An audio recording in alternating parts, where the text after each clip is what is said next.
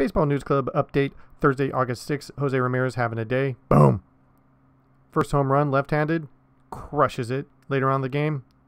How about a drive down the line? Triple. Reds playing like little leaguers.